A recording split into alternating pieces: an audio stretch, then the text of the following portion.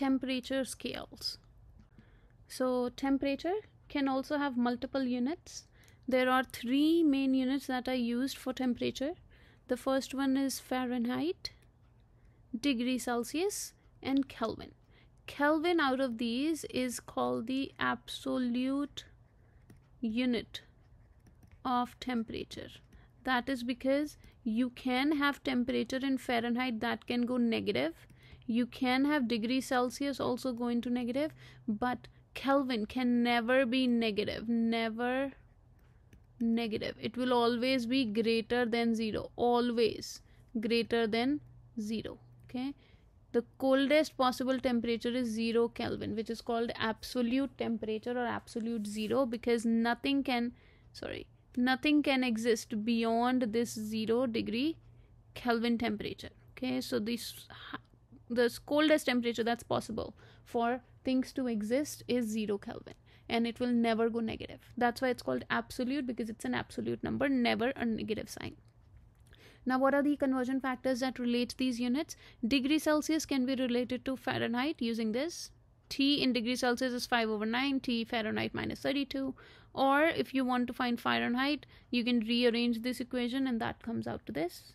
Another conversion factor that helps you convert things into Kelvin is degree Celsius to Kelvin. So temperature in Kelvin is equal to temperature in degree Celsius plus 273.15 Kelvin.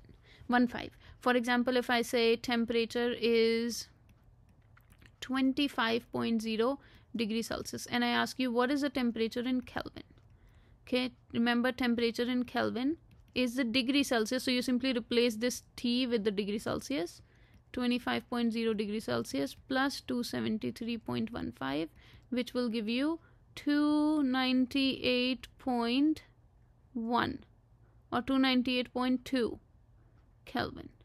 Okay, why? Because this is addition. So this is one decimal place. This is two decimal place. So my final answer should be one decimal place, which would give you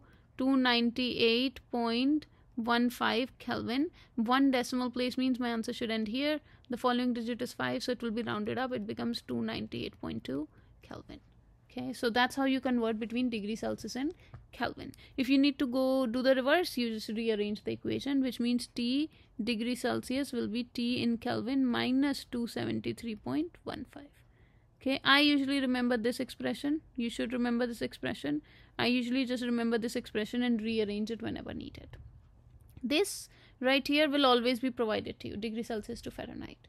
Okay but if a temperature is given to you fahrenheit and the question is asking convert it into kelvin.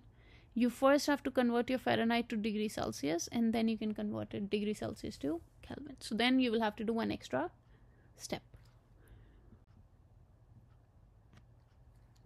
Example question like this. What is 98.6 degree fahrenheit on celsius scale so i just have to convert degree fahrenheit to Celsius. So I just need the formula which is T degree Celsius is how much. So if you look up T degree Celsius is 5 over 9 TF minus 32. I'm solving for this. 98.6 is the Fahrenheit. So you just replace TF with that. 5 over 9 times this minus that. Your final answer is 37 degrees Celsius. And that's basically it. So this is different scales of temperature. They are all different from each other. Their numbers are never same. Their numbers will not match if you want to find a temperature in from one unit to other always use the conversion factor